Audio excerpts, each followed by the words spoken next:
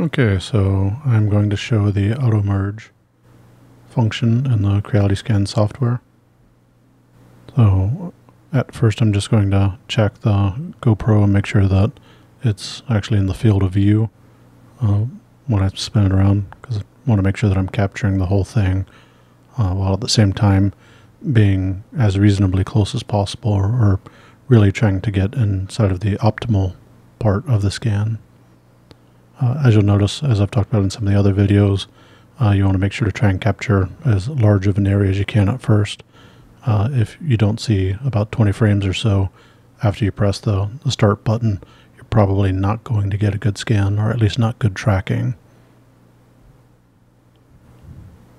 So the first few moments, or rather movements, uh, of the turntable in this situation is uh, pretty critical, especially with a, lot of the flat surfaces, to make sure that I've got good tracking.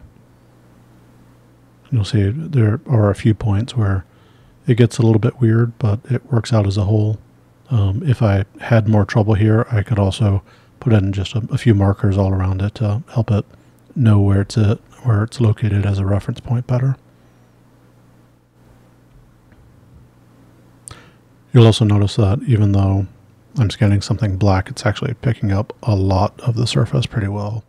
Uh, obviously, the, the reflective areas it does not do a good job with, but uh, you shouldn't expect it to either. And I'm just moving the camera around a little bit because you can see that the uh, bottom left corner of the GoPro here still had some red. So I just wanted to try and scan manually and get it a little bit more green. Also, as you may have uh, realized in some of my prior videos, I like to use the turntable and then do a little bit of freehand also, as I find it significantly improves the quality of the scan.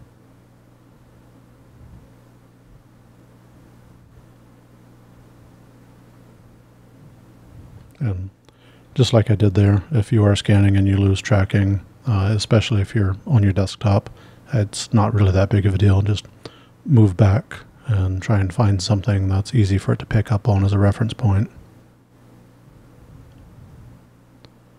So now I'm just going to flip over the GoPro. That way I can scan the back side of it. And then afterwards I will merge the two images together. Rather the two scans together. So you can see again 20 frames here uh, without even moving it. Uh, usually, if you're going to have issues, uh, it'll go to like nine frames uh, and then keep going back and forth. And then the second you try and turn or move it, it will turn all red. Uh, but pretty consistently, I've noticed that if it goes to 20 frames after you start it, you've got pretty good luck.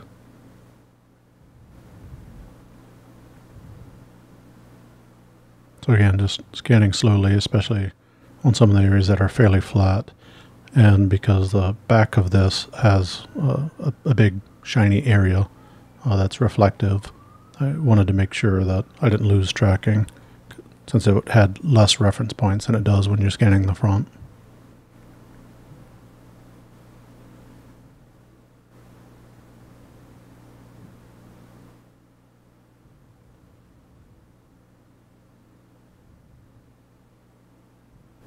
So on the scan, uh, I'm not going to freehand the back of it, uh, only because I'm not so worried about the quality of the screen that I can't capture anyway because it's reflective. So I'm going to do a batch processing. So I'm just going to do the same settings on each scan instead of having to click uh, on the, the first scan by itself uh, I'm able to let it run through the first one and then automatically start on the second one. Which is nice because it allows me to step away from the computer if I want to and do something else. Or to show off the GoPro that I'm scanning.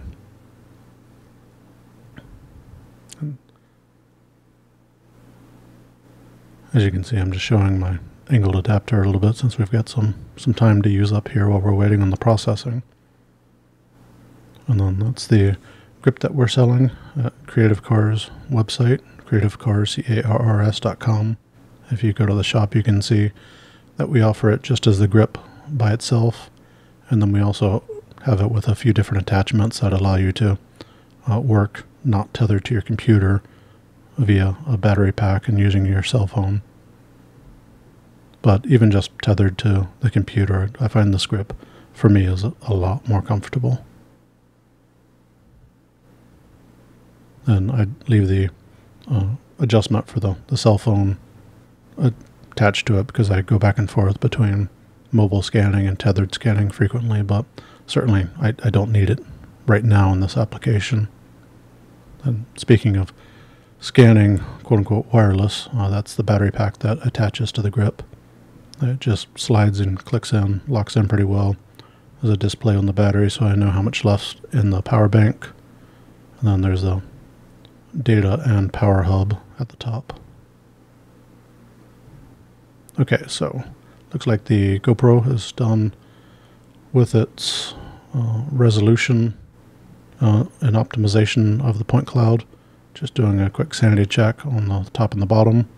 Going into the merge here, and you can see that the two obviously aren't aligned. So I'm going to try the auto merge, and it looks like it does a pretty good job. It doesn't always, and sometimes, like in that corner, you can see there's some artifacts, but that's when manual merging works pretty well. Uh, I'll have a, another video that showcases how to manually merge, but all you really have to do is put a, a few points on it uh, on both sides, and it's it's not too hard. So I'm just going to quickly clean up a, a small artifact here. But overall, it looks pretty decent. So now we'll go into a mesh. And as long as the mesh looks okay, then this will work for my needs if I'm wanting to make any small accessories for it or not. And again, since we've got a, a moment of time to use up here, you can see I'm just spinning around the modular setup that I have for the Creality Otter.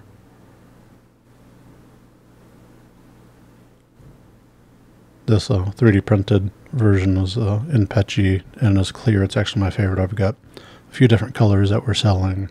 White, black. I've played around with blue and red a little bit, but I really like the clear.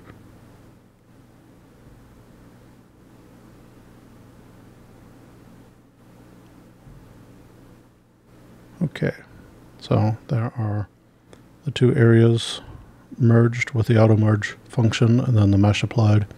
Still a little artifact left there, so just deleting it and looking around to make sure that it looks good enough for me.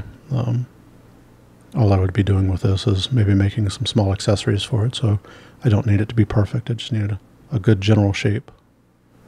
And for my needs, uh, this is totally fine. And you can see not a lot of noise on the front where I did a little bit of freeform scanning after the turntable. But since I want to pull this into CAD software and play around with it a little bit, I want to show off the simplification feature. You can see that the file size is pretty big uh, as is, and even though I've got a decent desktop, it's pretty cumbersome. So bringing it down to about a, a 10 megabyte file, uh, you can see it, it, does take away some of the sharpness of the image, uh, so a, a, small reduction in quality, uh, and certainly you would expect a reduction in quality going from the file size that I was at down to where I am. But for me, I, that's still going to work for getting the general external dimensions and allowing me to create any accessories that I might want to. So for me, this looks pretty good. Um, just for the fun of it, I'll do the color mapping and see how it turns out.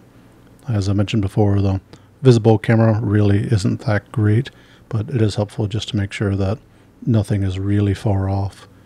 Uh, and if you're wanting to play further with a mesh, it, it just gives you a little bit more confidence on the exact area you're playing with. But yeah, there you go. A quick 3D model of the GoPro 10 that I've got laying around.